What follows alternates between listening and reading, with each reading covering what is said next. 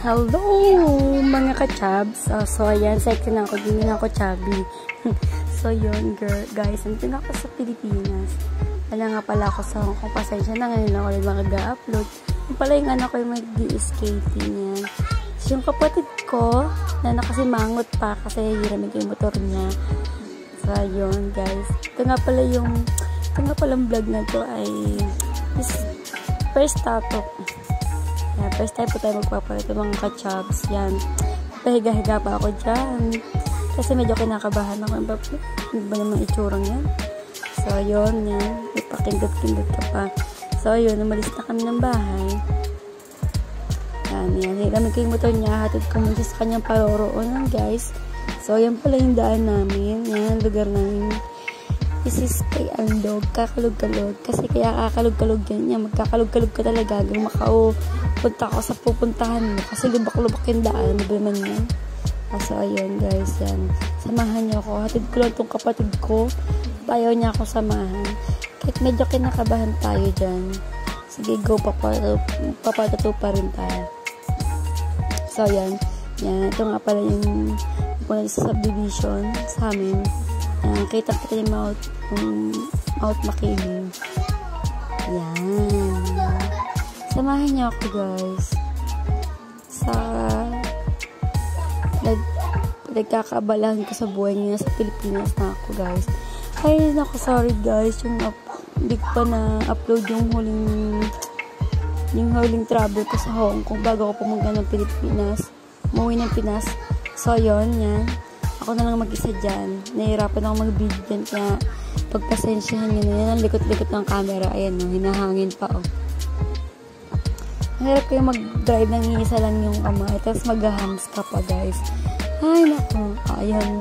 Ito medyo ninalubak-lubak yung daan kasi bagong gawa yung daan dyan. Pero, medyo na out of balance tayo sobrang hangin. Yan. Pagpasensyahan nyo na yung video ko dyan. So, yun, yan, dire-diretso lang, dire-diretso. Yan, medyo kinakabahan ako din, guys. Kasi, magpapatato ako na ako lang mag-isa, guys. Ano ba yan? Oo nga po, nag-iisip ko sa buhay. So, ito yan, nakarating na ako sa place, pero waiting ko pa yung magtatato sa akin. Yan. Ayun na si kuya. Sunod na ako. Na, inaano niya na yung ano ko Ayan, didikit. Ayan, ipinatter na na. So, yun guys. Ipiprepare na siya para sa gagamitin niya. Ayan. Shout out sa'yo, Kuya Albert. Diyan. Albert. Ayan. Shout out sa'yo, Kuya. I-send ko na. Ah, ilalagay ko lang yung link niya sa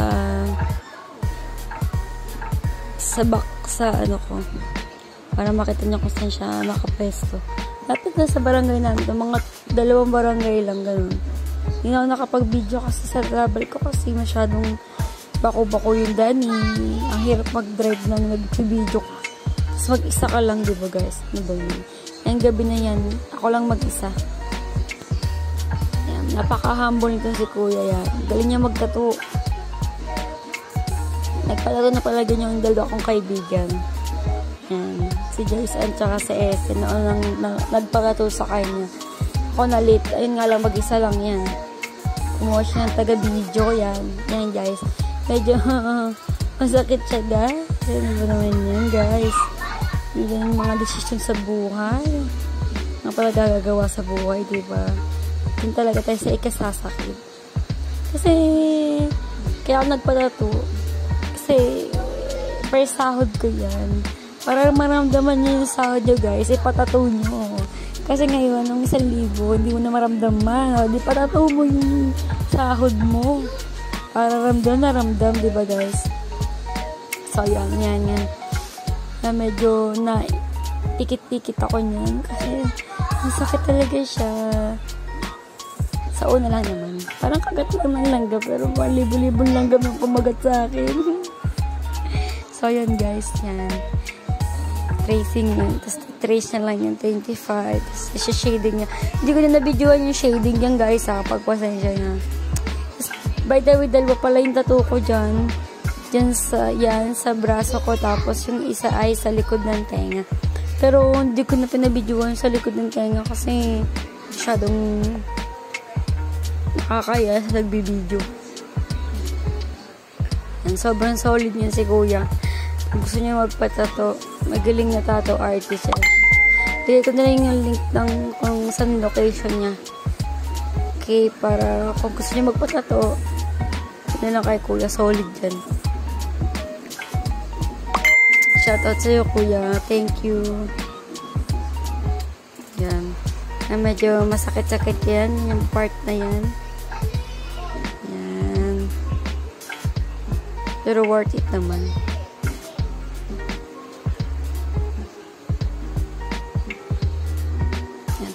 Namamanhid na ako dyan, guys. Pero go lang. Sabi ko lang kay kuya dyan, sabi ko, kuya, tigil mo na yan. Tama na. sabi ko ganun. Pero just lang. ah.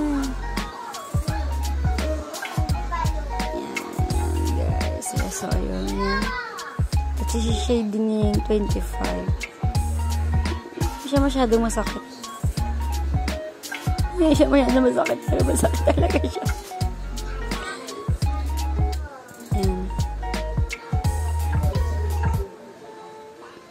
So, yan, tinatapos lang yan. O, diba? Ang galing niya magtato. Siya na on.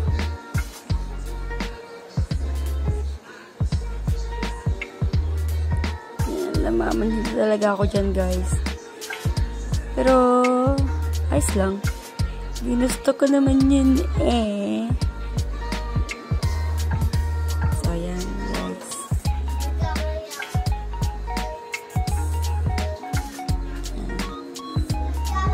Tiis na lang.